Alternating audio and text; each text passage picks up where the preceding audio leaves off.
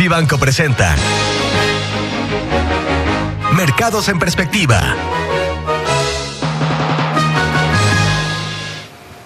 Me da mucho gusto saludarte, Juan Musi. Cuéntanos qué es lo más relevante en el mundo financiero. ¿Qué tal, mi querido Pedro? Qué, qué gusto saludarte, Pedro. Pues fíjate que sin duda hoy lo más importante será conocer más tarde el dato de inflación aquí en México un dato pues que se espera pueda eh, provocar un ligero repunte. Otra vez eh, se espera la cifra en punto 38 para todo el mes de septiembre. Y esto lo que significaría es que la cifra anual pudiera llegar hacia 4.9. Ese 4.9, eh, pues aunque parezca que está muy alto con respecto a la meta o al objetivo del 4.5, podría más adelante en el año ceder porque luego vienen meses de bajas inflaciones, incluso deflacionarios, y bueno, luego viene diciembre que por, por estacionalidad siempre es un mes eh, evidentemente con inflación alta. Entonces, pues bueno, empezaremos a ver si fue atinada o no la decisión de Banco de México. Yo creo que tiene mucha información y sí lo fue el haber dejado las tasas igual. Eh, solo que saliera un dato alarmantemente alto y que sorprendiera para mal. Eh, podríamos decir que entonces no fue una buena idea dejar las tasas en 7.75 en vez de haberlas subido, ¿no? Entonces, como dato, creo que ese es lo, lo más importante. Comentarte que en Estados Unidos las tasas siguen subiendo, subiendo fuerte. El bono de 10 años, 3.23%, ya te había comentado desde la semana pasada pues que esto está provocando que las bolsas bajen, que el dólar se fortalezca, que dinero que había salido de Estados Unidos regrese para invertirse allá. Y todo esto, pues evidentemente le aporta mucho ruido a los mercados financieros, pues porque hay un reacomodo de dinero que tiene mucho que ver con, insisto, mover activos hacia la renta fija, que salirte de las bolsas y también, ¿por qué no? Pues también salirte de mercados que están con riesgos mayores, concretamente de mercados emergentes, ¿no?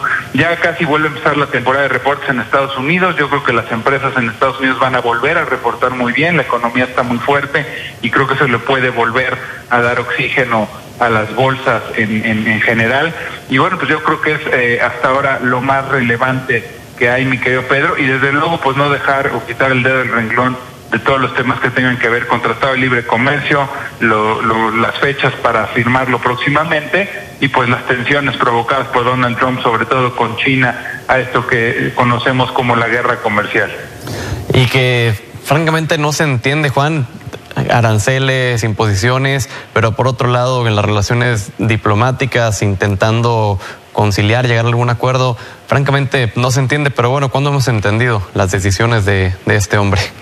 No, increíble, increíble. Y además, este, pues digo, es, es, es, el mismo estilo al que lo hacía cuando era empresario. Siempre le ha tocado estar en la posición del fuerte, porque es, un, es una persona que nació rica, nació con mucho poder, gracias a los negocios que hizo su padre en el ramo de vivienda.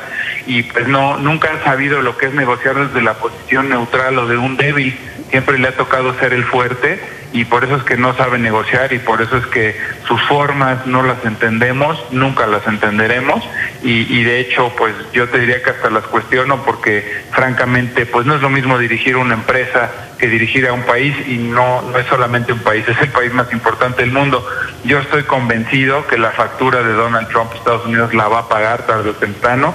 No es una factura que se vaya a ver pronto, son facturas que llegan más a mediano o largo plazo pero tantas tonterías y tantas cuestiones a las que ha renunciado este hombre, liderazgos históricos de Estados Unidos, y ahora pues todo este déficit fiscal que ha crecido porque él ha promovido incluso eh, bajas de impuestos y reformas fiscales que promueven el mayor endeudamiento de ese país, de verdad yo creo que tarde o temprano eh, va a venir una factura, una factura costosa.